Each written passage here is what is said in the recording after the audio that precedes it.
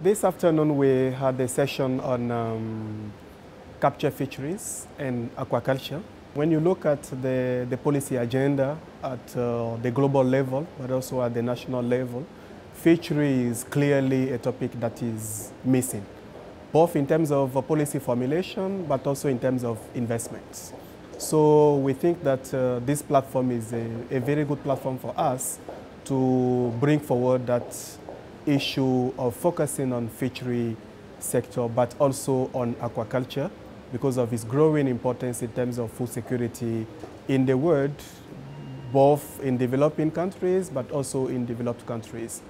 The link between uh, the research and the policy is extremely important, I think, because uh, the researchers can really make things uh, clear to us where we can better target our interventions and where we can put the money to and helping us understanding the, the difficult problems the difficult challenges we are facing. One concrete example on the project that we are, we are, we are working on in, in Benin on inland fishery, we are integrating socioeconomic and biophysical data to increase our understanding on how the decrease in terms of capture, in terms of um, uh, the capacity of the inland lakes, the relation with that biophysical information with the, the capture, uh, the, the actual capture in the fishery sector in, in Benin. And uh, the preliminary finding that we are, we are having is that the, the, the, there's a strong mismatch between the way we are promoting fishery capture and the way that um, the, and the, the pace of decrease in the inland uh, uh, water capacity. So we, we, we really like that kind of evidence-based information to come up with concrete solutions that we can propose to policymakers and make sure that uh, what they are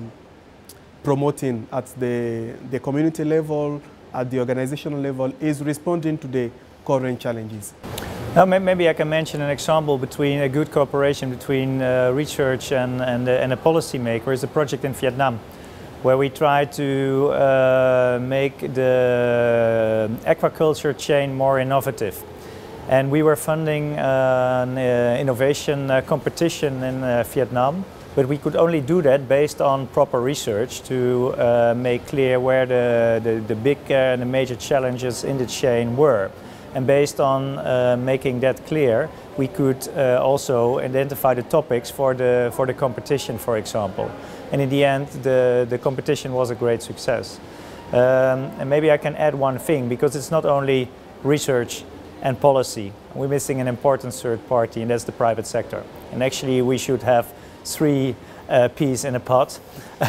research, policy, and the private sector working together. And that's what we also try to do as, uh, from a policy perspective and from the Ministry of Agriculture. When you translate uh, the results of the aquaculture competition into policy, I think it, it brought up uh, really good information and also brought up innovative companies uh, that could further work with our embassy and our agricultural counselor within Vietnam, based in Hanoi, to develop further policy in the, in the, in the country itself, in this example in Vietnam.